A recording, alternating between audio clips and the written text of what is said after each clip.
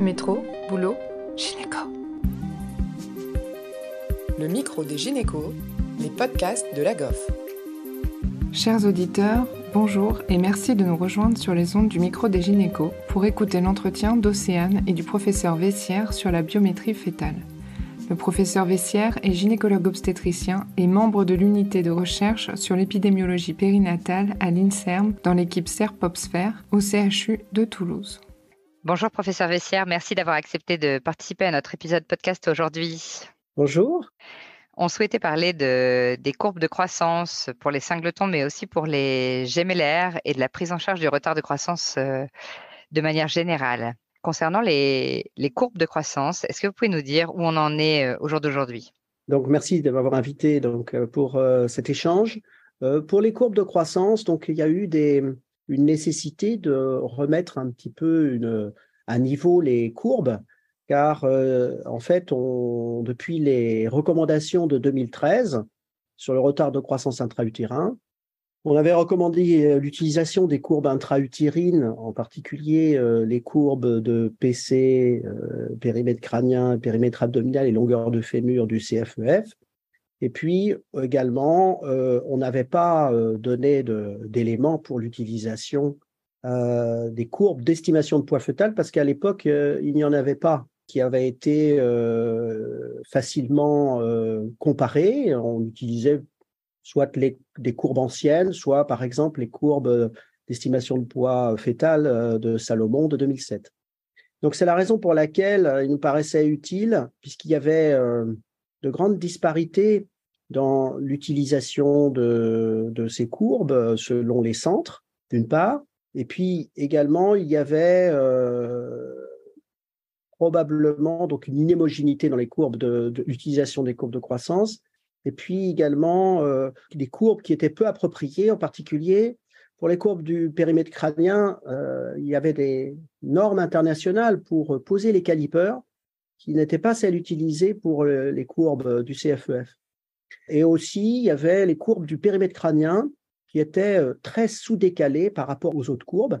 Et donc, comme il y avait tous ces éléments-là avec la publication d'un certain nombre de courbes de croissance depuis les recommandations euh, sur le RCE en 2013, et en particulier avec l'apparition de courbes dites prescriptives, eh bien, on a considéré qu'il était important à la fois pour homogénéiser les pratiques et puis pour utiliser des références de, de courbes qui étaient un peu meilleures, faire des recommandations, et puis partant du postulat que notre taux de dépistage du PAG euh, et RCU était, euh, avec l'enquête nationale périnatale, assez bas, entre 20 et 25% Qu'est-ce qui est retenu comme consigne pour les mesures du BIP ou du PC alors? Alors, pour les mesures, euh, c'est important effectivement de, de, bien avoir les différents éléments d'organes qui se trouvent dans votre PC et également dans votre abdomen pour bien faire vos mesures au bon endroit avec des calipers qui doivent être euh, bien euh, être euh, mis table externe, table externe. Externe, externe. Voilà, et ça, c'est des éléments qui sont importants. Et pour la mesure de fémur, faire en sorte d'avoir un fémur qui soit bien droit, bien rectiligne. et il y a pour ça bah, un certain nombre de, de, de, de coupes, de références qui sont publiés pour bien savoir euh, euh, quelles sont les coupes à utiliser pour placer vos calipers, quel que soit le paramètre utilisé. D'accord, merci. Et donc concernant le choix de la courbe, finalement? Alors pour le choix de la courbe, donc on a fait euh, une, revue de la littérature qui était assez exhaustive au sein du Collège national de gynéco-obstétrique. il faut savoir que cette, cette recommandation a, a, commencé il y a un certain temps ces courbes de croissance. Ça a commencé euh, en 2018 qu'on a commencé à, mettre en place ce groupe de travail. Il se trouve que il y avait des courbes euh, prescriptives, donc à partir d'une population à bas risque, euh, qui ont été publiées au même titre que les courbes OMS. Hein. Deux courbes prescriptives avaient été publiées. Ces courbes prescriptives ou courbes standards, c'est des courbes en fait. Il faut bien comprendre l'objet de ces courbes, c'est euh, de pouvoir, a priori, avoir la même euh, courbe pour tous les pays, en considérant que à partir du moment où on a une population à, bas risque, sans pathologie, on doit avoir, tous les fœtus devraient se retrouver sur la même courbe. et donc, ça part de ce postulat-là pour ces courbes prescriptives, et donc elles ont été construites avec les standards internationaux. Et il y a actuellement trois courbes prescriptives qui sont les courbes de l'OMS, les courbes intergrosses et les courbes du NICHD. le CFEF, hein, le, le, Collège français d'échographie fœtale, avait assez rapidement, puisqu'ils ont participé à l'élaboration de ces courbes intergrosses, voulu adopter le standard intergrosse et euh, au sein du Collège national de gynéco-obstétrique, on s'est dit qu'il nous paraissait très important, avant d'adopter ces courbes, qu'on puisse comparer l'ensemble des courbes, d'estimation de poids fœtal, là en l'occurrence, euh, à la fois les courbes intergrosses et puis euh, les courbes du CFEF, les courbes de l'OMS, les courbes du NICHD, pour savoir quelles étaient les courbes qui euh, étaient les plus appropriées pour bien dépister les petits et les petits à risque de morbimortalité. Et on a utilisé pour cela, euh, dans ce travail qui a duré trois ans euh, et demi, on a pu utiliser la cohorte épipage et la cohorte ELF pour pouvoir comparer l'ensemble de ces courbes pour voir lesquelles étaient, avaient le meilleur taux de dépistage des petits et des petits à risque. Parce qu'il faut savoir aussi que c'est important dans l'élaboration donc du choix de ces courbes. Ce qui nous paraît important, c'est euh, euh, d'avoir un taux de dépistage des PAG qui soit euh, suffisant, parce qu'on sait qu'il y a plus de morbidité pour les PAG que pour les GAG, c'est-à-dire les gros pour la gestationnelle.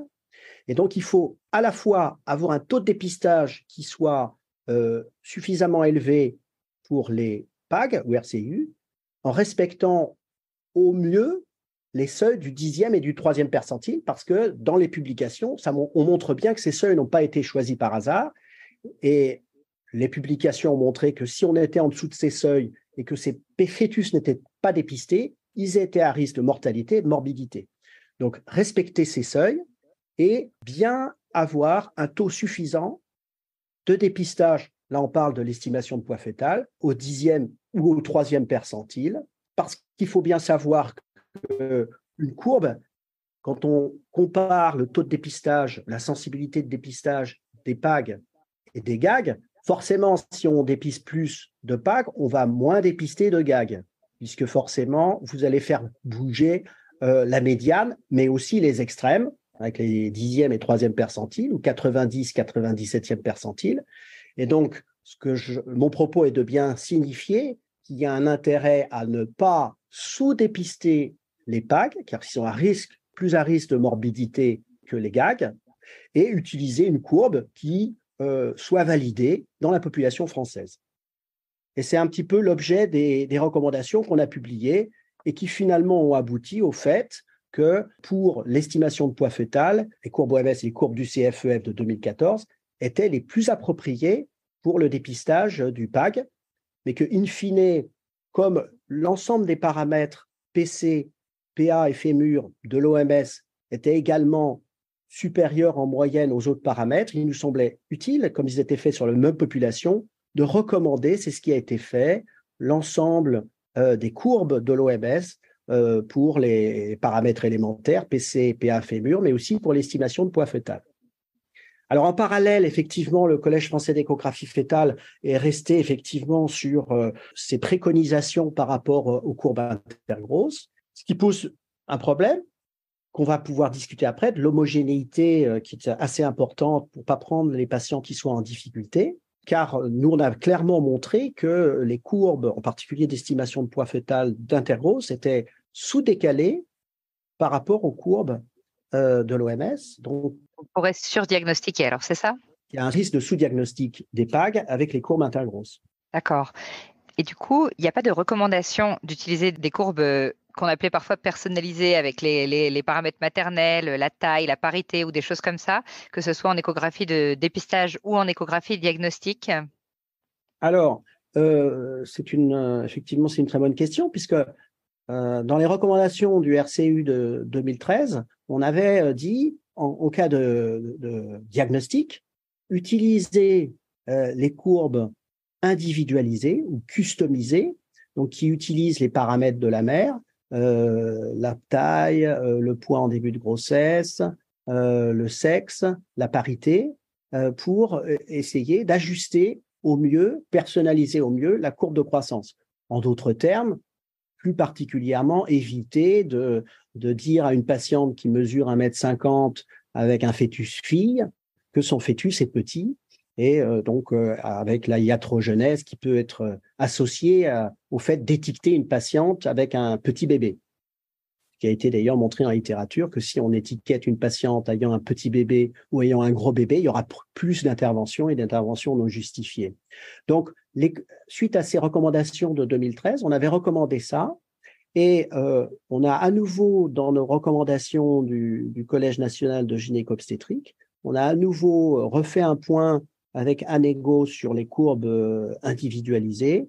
Et euh, on n'a pas pu mettre en évidence un bénéfice qui, avec publications qui ont été après 2013. Et donc, on n'a pas retenu l'individualisation ce d'autant que pour les courbes OMERS, il y a des courbes par sexe. Et on sait que le sexe euh, fœtal euh, est un des paramètres euh, les plus influents dans le cadre de l'individualisation. Donc, s'il y a bien un paramètre à retenir, c'est le sexe fœtal. Or, pour les courbes OMS, on a des courbes par sexe qui sont assez intéressantes à utiliser. Et concernant les grossesses gémellaires, est-ce qu'on peut se permettre d'utiliser du coup les mêmes courbes de manière sécure? Alors, euh, il y a beaucoup de débats dans la littérature concernant l'utilisation des courbes pour les jumeaux. Est-ce qu'il faut conserver les courbes euh, habituelles, donc courbes qu'on utilise pour les singletons, ou avoir des courbes spécifiques pour les jumeaux? Il y a pas mal de courbes qui ont été publiées dans la littérature. Régulièrement, il y a des papiers comparatifs. Euh, c'est très difficile d'avoir des, des, courbes dédiées aux grossesses gémellaires parce que la prévalence des grossesses gémellaires étant nettement plus faible, c'est difficile d'avoir des courbes faites sur des gros échantillons. Donc vous avez, euh, quand vous construisez une courbe, bah, euh, si vous tracez des points, vous allez avoir une courbe qui ne sera pas tout à fait euh, très régulière et avec des, petits biseaux qui correspondent la plupart du temps au moment où les échographies ont été réalisées. Donc, on peut dire qu'aujourd'hui, qu'il y a peut-être des courbes qui peuvent être intéressantes, mais la majeure partie des auteurs continuent à dire qu'il faut utiliser les courbes de singleton, y compris pour les jumeaux. On sait qu'en moyenne, les jumeaux vont avoir un infléchissement de la croissance qui est à peu près aux alentours de 26, 28 semaines par rapport aux courbes de singleton. Mais on considère que euh, ce qui compte, c'est pas forcément un point unique, mais la cinétique de croissance, qu'on pourra repérer décalage ou un infléchissement de croissance euh, aussi sur des courbes de singleton. Et puis comme on sait qu'il y a une, morbidité liée au, PAG et que les PAG sont plus fréquents chez les grossesses gémellaires, bah, utilisant des courbes de singleton, on passera moins facilement à côté euh, de, petits poids puisque l'alerte euh, sautera aux yeux. Tout à fait. Concernant la prise en charge, euh, d'ailleurs, de, diagnostic ou en termes de surveillance des retards de croissance, une fois qu'on les suspecte en échographie euh, grâce aux courbes de l'OMS, est-ce qu'il y a des choses qui ont changé aussi depuis les recommandations de 2013 alors, il y a eu des, recommandations qui sont apparues, des recommandations australiennes, des recommandations américaines, des recommandations de l'ISWOG en 2019. Je pense que les recommandations de 2013 du CNGOF sont pas astoubines. Euh, disons que ce qu'on peut dire, c'est que une courbe isolément euh, ne permet pas un management euh, adapté des patientes. La courbe est juste un outil et que globalement, pour avoir une prise en charge de la patiente, il faut voir le, le contexte global, les antécédents cliniques, la taille de la patiente, est-ce qu'elle a des facteurs de risque, est-ce qu'elle avait euh, au cours de sa grossesse des événements qui ont pu euh, interférer sur la croissance? Et puis, euh, une fois qu'on a repéré par la courbe éventuellement un bébé qui infléchit sa croissance ou qui est un peu bas sur les courbes, il y a l'utilisation du Doppler qui est tout à fait important pour savoir à quel moment il faut soit hospitaliser les patientes, soit faire naître l'enfant par une décision d'extraction en fonction donc de la courbe, mais surtout d'une prise en charge globale antécédent, Doppler et rythme cardiaque fœtal. Pas tellement de changements, si ce n'est euh, un rappel qu'une prise en charge se fait par, de façon globale et en particulier avec l'utilisation du Doppler, soit le Doppler ombilical, mais aussi le Doppler cérébral pour voir s'il y a une redistribution cérébrale. Doppler cérébral même en cas de Doppler ombilical normal, c'est ça hein? Alors, il y a deux cas de figure. C'est un peu le débat souvent. Ah non, mais bien sûr, c'est tout à fait juste. Quand on a un bébé qui est en dessous des courbes ou qui est bas sur les courbes, il faut utiliser les deux outils, même si le Doppler ombilical est normal. Bien entendu, si vous avez euh, une patiente qui a une croissance normale, aujourd'hui, il n'a pas été montré qu'il y avait une utilité à utiliser en routine le Doppler ombilical. Et si vous le faites, il n'y a pas d'utilité à faire un Doppler cérébral parce que vous n'avez pas d'infléchissement de croissance et vous n'avez pas un bébé qui est en bas des courbes. Parce que vous pouvez à ce moment-là, forcément, si vous faites plein d'examens qui ne sont pas euh, euh, ciblés, eh bien, vous allez avoir des faux positifs. Par exemple, une patiente, euh, euh, c'est toujours dans ces, souvent dans ces cas-là qu'on se pose beaucoup la question des, des, Dopplers chez, chez, un fœtus euh, estimé eutrophe. Si on a une patiente diabétique de type 2 très déséquilibrée et qui fait une prééclampsie et qu'on a un bébé au 60e percentile, on se demande si le, le, mix entre la, macrosomie et donc dans ce contexte, c'est pas validé, c'est ça hein Alors, non, je dirais que là, il faut probablement le faire. C'est-à-dire, on est sur une population à risque. Donc, je pense que sur une population à risque, il est intéressant de pouvoir utiliser le, Doppler, je ne vais pas dire en routine, mais sur cette, euh, ce sur-risque lié à la population. C'est très intéressant de, signifier, par exemple, ça. Euh, et c'est un rappel qu'il faudrait bien dire euh, aux, plus jeunes, hein, mais même aux praticiens expérimentés. Et je pense qu'on passe à côté parfois d'un infléchissement de croissance alors que périmètre abdominal ou l'estimation de poids reste encore au-dessus du dixième percentile. L'exemple du, du, diabète est, une, est, un très bon exemple. On a eu des cas là assez récemment d'une patiente qui ont une cassure ou un infléchissement de croissance alors qu'il était au 70e percentile ou 80e percentile, il est passé au 50e percentile. C'est une cassure de croissance. Ce n'est pas normal. Et donc, ça signifie qu'on débute chez elle soit une insuffisance placentaire, éventuellement une préclampsie, et que c'est un signal d'alerte. Autrement dit, ne pas s'arrêter au point en dessous du dixième percentile. La cinétique de croissance est importante, et si vous avez un infléchissement de croissance en particulier, c'est un facteur de risque, euh, et on peut passer à côté justement parce qu'on n'est pas habitué. Et là, le Doppler ombilical peut avoir un intérêt en effet parce qu'il pourra euh, montrer une augmentation de la résistance même au 20e percentile. Ça répond à votre question initiale. Exactement, oui, merci, c'était très clair. Et concernant le, le, Doppler du canal d'Aransus, le l'onde A, est-ce qu'on reste sur cette idée qu'il n'y a pas beaucoup d'intérêt de le faire passer 32 semaines, par exemple? Est-ce que alors oui, c'est ce qu'on a écrit effectivement dans les, dans les recommandations de 2013. Euh, je pense que c'est important, à partir du moment où vous avez un Doppler ombilical qui est altéré ou une redistribution cérébrale, de faire ce Doppler qui est plus difficile. Hein. Il faut que ce soit des gens habitués. Hein. Il y a pas mal de faux positifs parce qu'on prend une veine hépatique. Donc, euh, il y a, quand vous avez une onde A positive avec un, euh, vous reconnaissez le profil. Rapide. Là, il n'y a pas de faux négatif. Vous pouvez effectivement avoir une onde A négative. Vous pensez que c'est euh, un reverse flow, mais c'est euh, la veine hépatique. Donc ça, c'est déjà un élément important. C'est un, Doppler plus difficile à réaliser. Et donc, si il faut l'utiliser, je pense, en routine, et ça fait partie des critères d'extraction, même après 32 semaines, vous avez la VCT et vous avez le Doppler, le Doppler du ductus venosus, qui est au moins aussi bon que la VCT, mais qui est opérateur dépendant, contrairement à la VCT. D'accord, à tous les termes alors.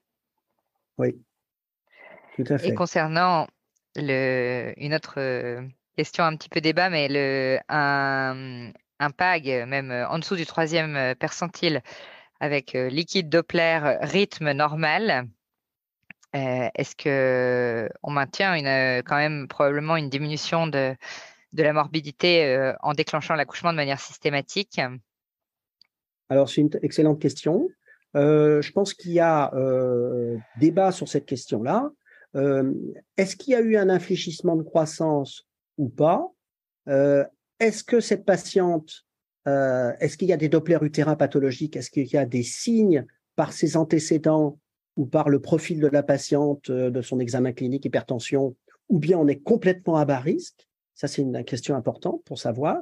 Si c'est une patiente, est-ce que, en d'autres termes, il s'agit d'un bébé qui est constitutionnellement petit chez cette petite dame, qui n'a pas de facteur de risque avec des Doppler utérins normaux. Et dans ce contexte-là, eh bien, on peut aller le plus loin possible. Alors, bien sûr, si vous, à partir de 39 semaines, vu qu'il y a peu de morbidité au déclenchement, on pourra se poser la question, mais c'est à discuter avec la patiente. Donc ça, c'est vrai que c'est important pour éviter la iatrogenèse et la morbidité. En revanche, si vous avez euh, des signes euh, d'insuffisance placentaire qui ont été repérés et puis vous avez un début d'infléchissement, euh, même si vous n'êtes pas très bas, eh bien, il n'y a pas d'intérêt à aller au-delà de, de, 39, voire de 38 ou de 37. Ouais. D'accord, très bien. Merci beaucoup, professeur. On a abordé pas mal de questions qu'on voulait discuter aujourd'hui. Merci beaucoup, en tout cas, pour cet échange. Et puis, j'espère que j'ai pu apporter des informations et, importantes pour euh, tous ceux qui pourront écouter ce podcast. Merci beaucoup. Tout à fait. Merci à vous. Merci à tous de nous avoir écoutés aujourd'hui. Rendez-vous la semaine prochaine pour un nouvel épisode. Vous retrouverez toutes les ressources et références de ce podcast dans la description et surtout, n'hésitez pas à vous abonner à la chaîne, à lui accorder 5 étoiles, voire même à en parler autour de vous. Métro, boulot, gynéco.